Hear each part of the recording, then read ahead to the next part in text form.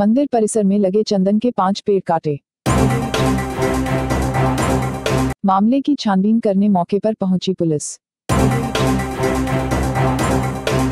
मंदिर के पुजारी पर पत्थरों से किया हमला।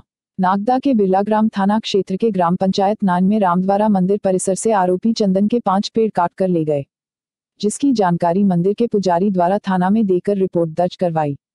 इसके बाद भी चोरों ने दूसरी रात में फिर से मंदिर परिसर में शेष बचे पेड़ों को ले जाने की कोशिश करने लगे। जिसकी आहट सुनकर मंदिर के पुजारी जाग गए और जब उन्होंने आरोपियों को ललकारा तो पुजारी पर पत्थरों से हमला कर दिया। जिसका शोरशराबा होते ही ग्रामीण मौके पर एकत्र हो गए, जिससे डरकर चोर मौके से भाग गए। दूसरी रात में चंदन के पेड़ ले जाने की वारदात को लेकर बिरला ग्राम थाना में फिर से शिकायत दर्ज कराई गई। रिपोर्ट में उन्होंने बताया कि रात्रि करीब तीन बजे चोर आए और पेड़ ले जाने लगे। जब उन्हें रोकने का प्रयास किया तो उन्होंने पत्थरों से हमारे हमला कर दिया। शोर मचाने पर ग्रामीण एकत्र हो गए और चोर मौके से फरार हो गए। पुलिस ने मंदिर के पुजारी की शिकायत पर रिपोर्ट दर्ज करने के बाद पुलिस मौके पर पहुँची और वहाँ साक्ष्य जुटाए और आरोपियों की तलाश शुरू कर दी है। वहीं मामले की गंभीरता को देखते हुए नगर पुलिस अधीक्षक मनोज रत्नाकर ने संबंधित थाना प्रभारी हेमंत सिंह जादौन को आदेशित किया है कि मामले की जाँच कर जल्द से जल्द आरोपियों की गिरफ्तारी की जाए, जिससे इस तरह के अपराधों पर रोक लग सके। ग्रामीणों का आक्रोश और मंदिर से जुड़ा हुआ मामला होने के कारण नगर पुलिस अधीक्षक मनोज रत्नाकर स्वयं ही घटना स्थल पर निरीक्षण करने पहुँचे। वहाँ आसपास का निरीक्षण कर पूछताछ की। घटना स्थल से भी साक्ष्य एकत्र करवाए। उन्होंने मून स्टार न्यूज़ 24 के संवाददाता राकेश शर्मा से चर्चा करते हुए बताया कि जल्द से जल्द मंदिर के पुजारी पर हमलावरों और चंदन चोरों को पकड़ा लिया जाएगा। ग्राम पंचायत नान में स्थित मंदिर के पुजारी हरिराम ने बताया कि महाराज कुछ दिन पूर्व अपने कुछ चंदन पेड़ चोरी हुए थे।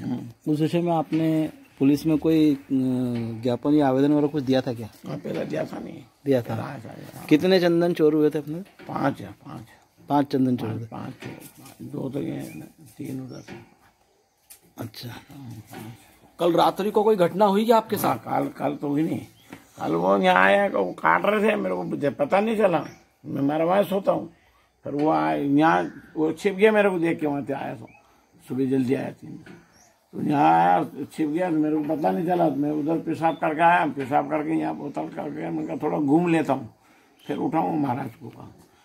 तो यहाँ छिप तो फिर वो देख के मर उठ गए उठ गए तो मेरी डक्की बंद की।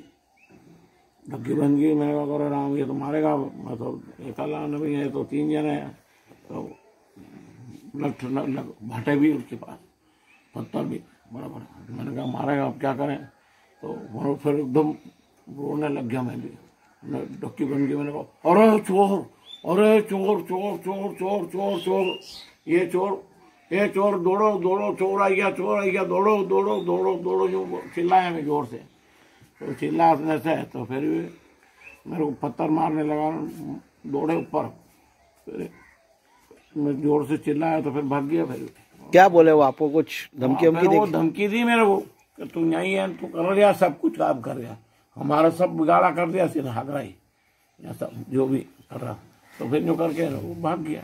किसी पे शक है तुमको? यहाँ पे कोई ऐसा कोई व्यक्ति जिस पे तुमको ऐसा लगता है कि वो व्यक्ति कर सकता है? ऐसा कुछ है जानकारी? नहीं ऐसा कोई जानकारी नहीं भविष्य में कभी वो आपके सामने आएँगे तो आप उनको पहचान पाएँगे नहीं पता? नहीं पाई सके कितनी बजे की घटना है ये? ये सुबह तीन बजे की है। तीन बजे। इससे पहले भी पूर्व में कोई घटना हुई ऐसी? मारपीट वाली या हमला करने वाली कोई नहीं हमला करने वाली तो पहला तो जैसे हमारे करा था कि ये हमारे गुरुजी भी थे। चंदन पेड़ चोरी होने के मामले की जानकारी देते हुए नागदा के नगर पुलिस अधीक्षक मनोज रत्नाकर ने बताया कि हाँ ये राम द्वारा मंदिर पे यहाँ पंडित जी अपने हरिराम जी हैं।